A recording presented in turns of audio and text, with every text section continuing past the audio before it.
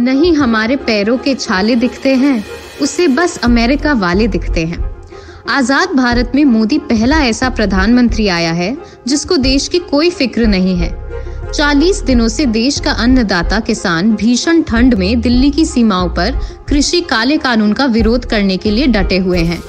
60 से अधिक अन्नदाता काले कानूनों का विरोध करते हुए अपने प्राण गवा चुके हैं। ये सही है।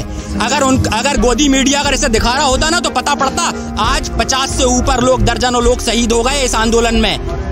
दर्जनों लोग शहीद हो गए, ये क्रांति खाली नहीं जाने वाली। आपको सच्चे भारत की अगर तस्वीर देखना है तो इस आंदोलन मगर असंवेदनशील और निर्दयी प्रधानमंत्री को देश के किसानों का दुख देखकर दर्द नहीं होता है। उन्हें हज़ारों किलोमीटर दूर अमेरिका में दंगों की चिंता है। लेकिन महज कुछ किलोमीटर दूर देश की राजधानी दिल्ली की सीमाओं पर डटे हुए देश के लाखों किसानों की कोई चिंता नहीं है। देश का दुर्भाग्य है कि देश में ऐसी सरकार है, जिसको देश की बहु बेटियों की चिंता नहीं।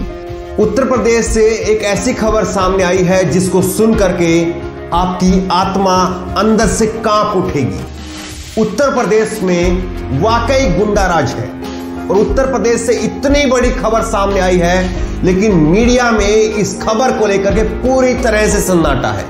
कहीं पर इस खबर को लेकर के अभी तक कोई हल्ला गुल्ला सुनाई नहीं दे रहा। उत्तर प्रदेश के अंदर 3 जनवरी को, रविवार को 50 साल की एक महिला के साथ में मंदिर के अंदर, मंदिर के पुजारी, मंदिर के महंत ने उसके साथ में गैंगरेप किया। उसको सिर्फ़ चंद पूंजीपतियों की चिंता है। पूंजीपतियों के इशारे पर नाचने वाले नरेंद्र मोदी देश के किसानों को पूंजीपतियों का गुलाम बनाना चाहते हैं।